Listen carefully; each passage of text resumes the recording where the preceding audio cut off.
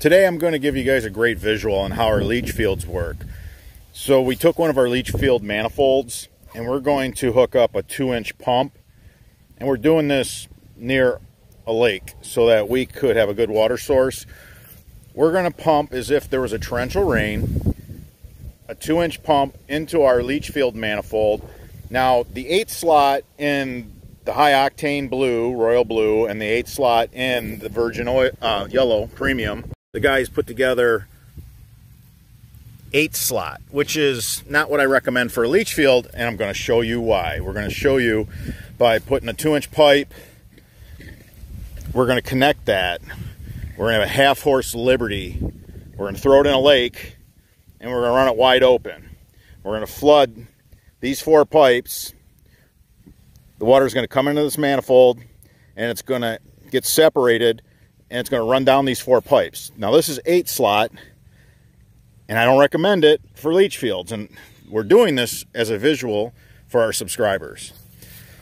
Then we're going to come over here and we're going to connect to, we're going to put the pump. See, we take one of the French drain man, what we call the cone, and we just take a two to three, and then we'll put our pump in there and I had the guys tape this up so nothing leaks. Now this is knife cut. We don't use this in yard drains for collection. We use it for dispersing water. That's the difference. And I'm going to show you why. So stay tuned. All right, we got two leach field manifolds and they're rigged differently because we wanted to show you guys, our subscribers, we want to educate you we want you to build better yard drains.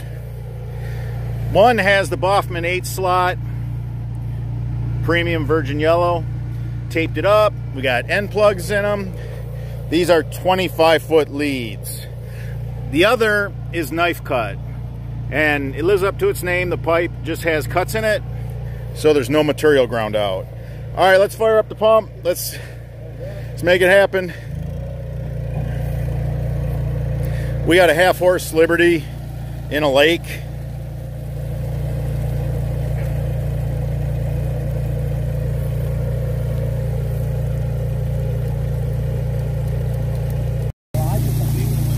Yeah, the eight slot just pours out. I mean, just like a sieve. I mean, that's all the water just pours out. Yeah, it's so it doesn't get a chance to travel the length of the leach field. That's why you build a leach field so that you disperse the water over a large area. We've been selling a lot of the leach field manifolds.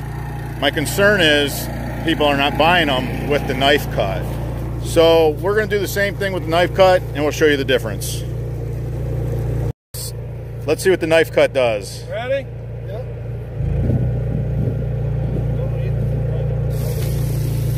All right, so the knife cut doesn't have material ground out like four slot staggered or eight slot. It lives up to its name. It just has cuts in it. No material removed. The water travels the whole length of the leach field through these four pipes and it's dispersed evenly throughout the leach field. Let's pick that manifold up like you did.